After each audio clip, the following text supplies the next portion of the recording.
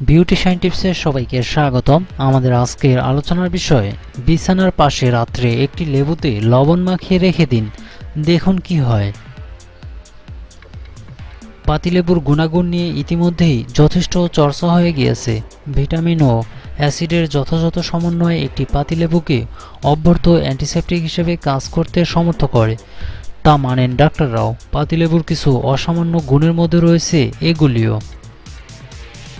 এক যারা খুশকির সমস্যায় ভুগছেন, তারা চুলের ঘোড়ায় যদি পাতিলেবুর রস ম্যাসাজ করে স্নানের মিনিট দশেক আগে আর তারপর স্নান ও শ্যাম্পু করে নেন, তাহলে খুশকির হাত থেকে মুক্তি মিলবে।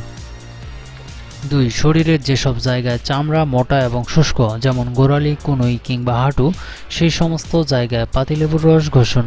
দিন কয়েকের মধ্যেই দেখবেন চামড়া নরম হয়ে এসেছে।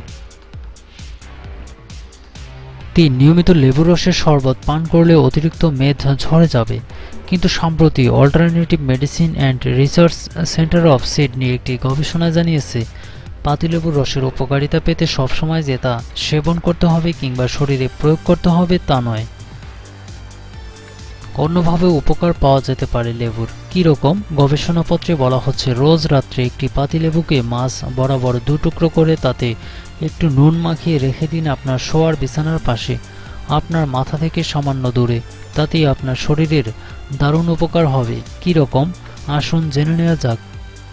এক পাতিলেবু এবং নুন ঘরের বাতাসকে পরিশোধিত করতে সাহায্য করে। দুই সারা রাত বিশুদ্ধ বাতাস গ্রহণের ফলে আপনার মনোসংযোগ কর্মক্ষমতা বৃদ্ধি পায়। পাশাপাশি আপনার শ্বাসযন্ত্রের উন্নতি হয় এবং মেজাজও ভালো থাকে। ভিডিওটি দেখে যদি ভালো লাগে তবে লাইক দিয়ে কমেন্ট করে জানান আপনার মতামত। ধন্যবাদ।